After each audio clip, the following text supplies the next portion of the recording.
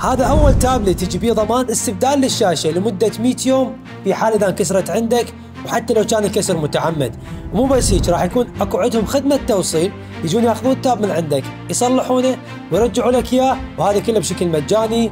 هذا هو ال Tab 16 Pro من Blackview تعالوا نتعرف عليه. السلام عليكم متابعيني الأعزاء. رجعت وياكم وفيديو جديد. وبهذا الفيديو راح نتكلم عن تابلت Blackview اللي هو ال Tab 16 سعر الجهاز هنا أنا خل أبدي بيه وياكم هو 142 دولار. يعني هنا بهذا السعر قاعد نتكلم عن تابلت اقتصادي.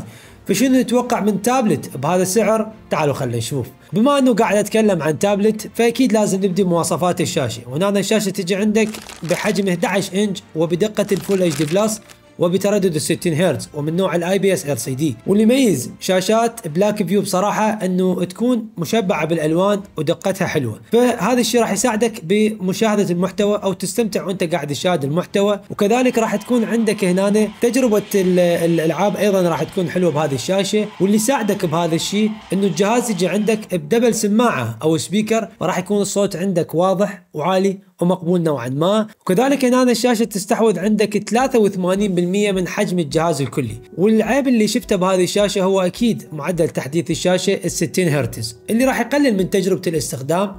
فممكن تكون عندك سلاسة بالتقليب بين التطبيقات أو الإغلاق وفتح النوافذ راح يكون شوية ثقيل. أه سرعة استجابة اللمس كذلك بطيئة. لكن إذا أنت ما مستخدم تابلت أو أي جهاز سابقا فوق 60 هرتز ما راح تلاحظ أي فرق ولا راح تكون عندك تجربة الاستخدام سيئة. خاصة إذا إنه أنت مشتري هذا التابلت للأطفال فهذا الموضوع أو الطفل ما راح يلاحظ أو ما راح يحس بهذا الشيء نهائيا. فأشوف الشاشة بصراحة حلوة الحجم مالتها كبير الدقة مالتها حلوة لكن مثل ما ذكرت هنا العيب الوحيد هو معدل تحديث الشاشه هسه خلينا ننتقل للمعالج والأداء. هنا الجهاز يجي عندك بمعالج ال Unisoc T606 وهذا المعالج يعتبر اقتصادي. إذا نريد نقارنه بأداء باقي المعالجات فممكن الأداء مالته يكون قريب من أداء ال MediaTek G85 واللي راح يشغل لك ألعاب خلينا نقول ألعاب بشكل اعتيادي. يعني على سبيل المثال لعبة ببجي راح يعطيك بها تقريبا 40 frame على أقل إعدادات لل graphics. وإذا يعني خلينا نقول هنا الشاشة شوي الحجم مالتها كبير فممكن تكون التفاصيل عندك غير واضحة لكن مقبولة. لكن خلي ببالك إنه هذا التابلت ما راح يشغل لك ألعاب قوية.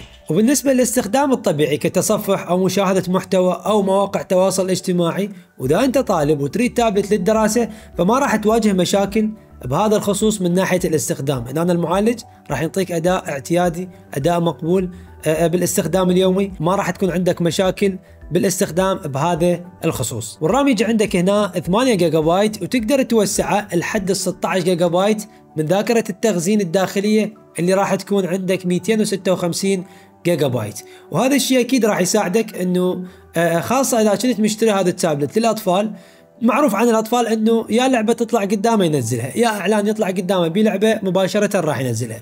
فذاكرة التخزين اللي راح تكون 256 جيجا بايت راح تساعدك بهذا الخصوص إنه يقدر ينزل ملفات أو ألعاب إيش قد ما يريد ما راح تمتلئ عنده الذاكرة بسهولة. وأيضا هنا تقدر تضيف RAM أو ذاكرة تخزين خارجية لهذا التابلت وتوصل لحد 1 تيرا بايت فما راح تكون عندك مشاكل من ناحية ذاكرة التخزين بشكل عام.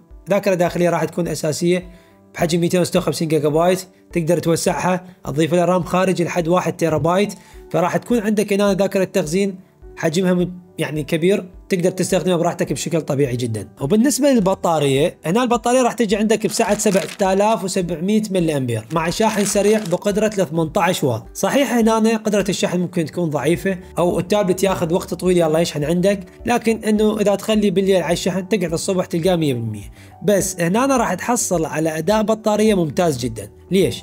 لأنه الشاشة راح تجي عندك 60 هرتز كذلك حجم البطارية كبير والمعالج أيضا راح يكون اقتصادي. فهنا إذا كان استخدامك خلينا نقول اعتيادي راح تعطيك البطارية استخدام أكثر من يوم. لكن إذا كان الاستخدام مالتك مكثف حسب تجربتي إنه البطارية توصل عندك تقريبا يوم يوم ونص حسب استخدامك أكيد. إذا كان استخدام ألعاب هواي خلينا نقول مشاهدة أفلام هواي ممكن البطارية توصل عندك لحد يوم ونص أو أقل أو يوم كامل. لكن إذا كان الاستخدام مالتك طبيعي أو اعتيادي يعني مثلا تصفح أو مشاهدة مواقع تواصل اجتماعي أو خلينا نقول استخدام متقطع ممكن البطارية توصل عندك أكثر من يومين بهذا التابلت. الكاميرات. إذا أريد أتكلم عن الكاميرات فمستحيل أكو شخص يشتري تابلت على مود ياخذ بيه صور أو يعتبره كاميرا أساسية. لكن ممكن تعتمد عليها أو ممكن تستخدمها في حال إذا ما كان يمك موبايل وتريد تاخذ صورة ضرورية ممكن هنا تستخدم كاميرات التابلت. لكن لازم أذكر إنه هنا الجهاز يجي عندك من الخلف بكاميرتين. الكاميرا الأساسية راح تجي ب 13 ميجا بكسل بحساس من سامسونج والكاميرا الثانية راح تكون 2 ميجا بكسل لل depth أو للعزل.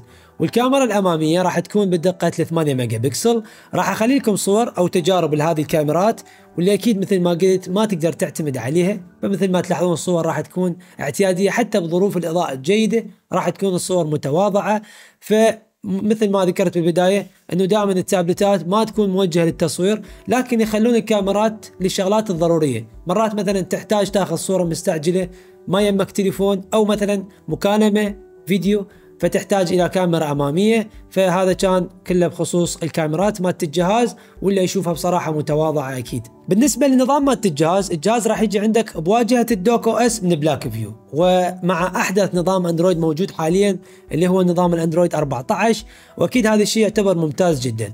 وهنا راح تقدر تستخدم وضع ال PC mode اللي راح خلينا نقول يعطيك تجربة استخدام اللابتوب تقريبا وتقدر تضيف mouse و keyboard فراح آه، تكون تجربة الاستخدام عندك أسهل وأسرع بالنسبة لفتح النوافذ أو فتح نوافذ متعددة. وبالنسبة لي أعتبر هذا التابلت package متكامل. ليش؟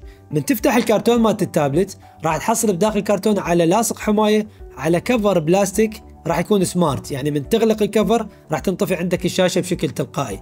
وعلى قلم ما أعرف إذا هذا القلم راح تقدر تستخدمه آه، آه، للرسم أو للكتابة.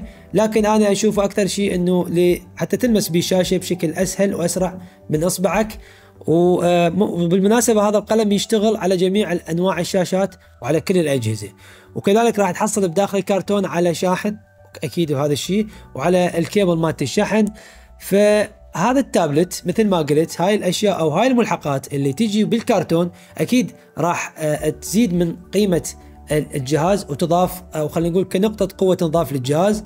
لأن أنت اليوم من تشتري تابلت أكيد لازم تروح تشتري لاصق حمايه تروح تشتري له cover تشتري له قلم وممكن ما تحصلهم بالسوق. لكن هنا Blackview حاطت لك هذه الأمور كلها داخل الكرتون. فبقى بس ممكن تشتري له mouse و keyboard تستخدم وضع ال PC mode راح تحصل على تجربة خلينا نقول قريبة من اللابتوب. أكيد ما نقدر نقارن أو خلينا نقول إنه راح تحصل على لابتوب أو هذا التابلت راح يغنيك عن اللابتوب هذا نظام وهذا نظام. لكن خلينا نقول تحصل على تجربة قريبة جدا من تجربة آه، أو خلينا نقول قريبة تقريبا من تجربة اللابتوب. بالنهاية أشوف هذا التابلت بصراحة ممتاز بهذا السعر.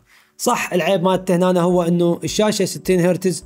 لو كانت الشاشة تجي بتردد 90 هرتز على الأقل كان بصراحة يكون صفقة خرافية.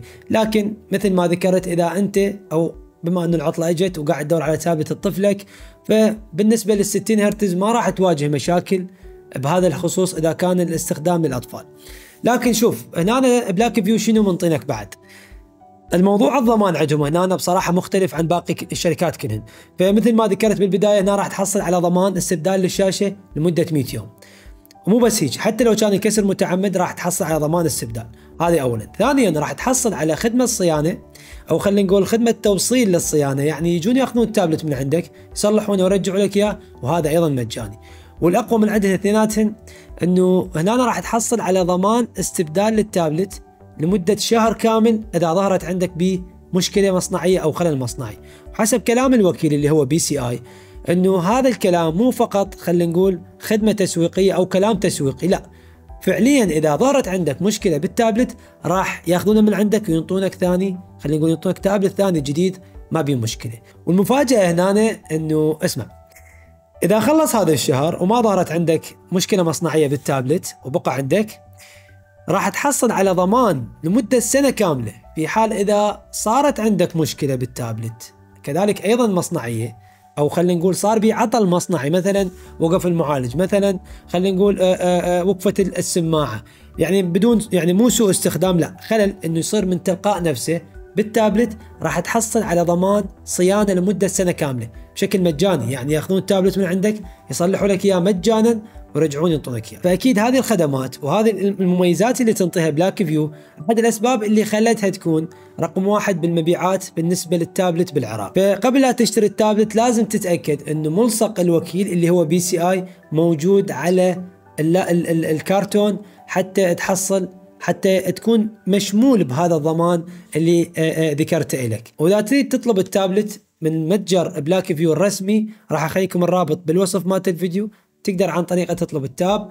فأنت اكتب لي رأيك شنو رأيك بهذه المواصفات؟ هل أنت تفضل انه تحصل على مواصفات عالية وسعر أقل أو تحصل على خلينا نقول سعر معقول وعلى خدمات ما بعد البيع؟ يعني كضمان كصيانة كضمان استبدال كهيك يعني كهذه الخدمات اللي ذكرتها. فشنو تفضل؟ إنه آه، السعر يكون مناسب ومواصفات قوية أو سعر مناسب مواصفات مناسبة وكذلك على ضمان أو على خدمات ما بعد البيع تكون ممتازة. أنت اكتب لي رأيك بالتعليقات شنو الأفضل لك وشنو اللي تفضله. كان وياكم أخوكم مهند. نلتقي بفيديو قادم إن شاء الله. حياكم الله. ونورتوني واهلا وسهلا بكم.